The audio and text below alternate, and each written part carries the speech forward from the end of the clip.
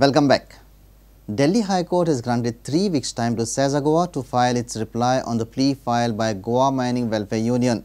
Sesa had challenged the order of the Union Ministry of Labour and Employment restraining them to lay off as many as 1,050 working staff.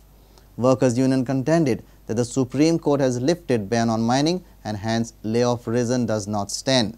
Delhi High Court has adjourned the matter till 1st October.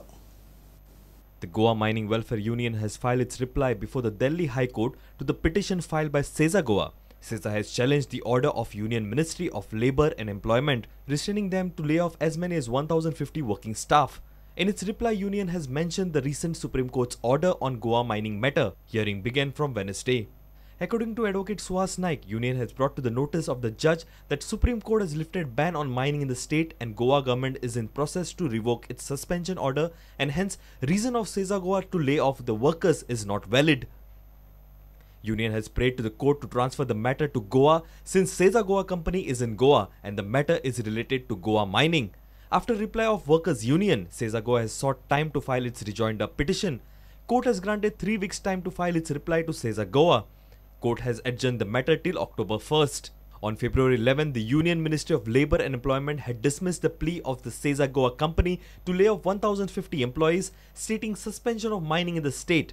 Order was challenged by the Sesa Goa Limited before the Delhi High Court. Our reporter Mahesh Gadi for Prudent. Polling in seventh phase of Lok Sabha concluded on Wednesday. Voting was held in 89 constituencies across seven states and two union territories including Gujarat, Punjab and Telangana. Today's poll will decide the fate of Sonia Gandhi and Narendra Modi. Eighth and second last phase of Lok Sabha poll will be held on 7th of May. Polling in the seventh phase of Lok Sabha poll was held on Wednesday at Andhra Pradesh, Bihar, Gujarat, Jammu and Kashmir, Punjab, Uttar Pradesh, West Bengal, Dadar and Nagar Haveli, Daman and Diu. Eighth phase of Lok Sabha poll will be held on 7th of May. Elections will be held in Andhra Pradesh, Bihar, Jammu Kashmir, Uttar Pradesh, Uttarakhand, West Bengal, and Himachal Pradesh. Bureau Report Prudent. The High Court has rejected the bail plea of former Director of Mines Arvind Loliakar. The court has observed that the investigation in mining scam is at a very crucial stage and Loliakar can influence the witnesses if he is released on bail.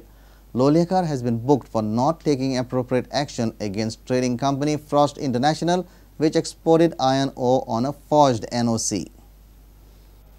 The High Court on Wednesday dismissed the bail petition of former Director of Mines Arvind Loliankar.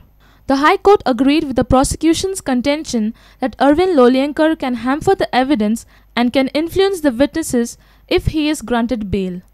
Special investigating team of Goa police had arrested Arvind Loliankar on 28 March. The High Court in its order has observed that there are enough prima facie evidence indicating active involvement of Arvind Loliankar in the crime. The court has also observed that manipulation with the dates on the related documents shows wrongdoing of Loliankar.